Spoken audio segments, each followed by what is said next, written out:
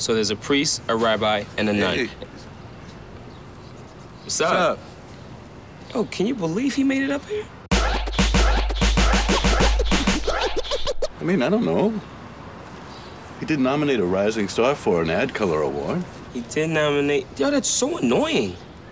He nominates someone for an ADCOLOR award, and all of a sudden the rules don't apply to him. I'm out of here. Hmm. Hey, Here. hey. Oh no, come on.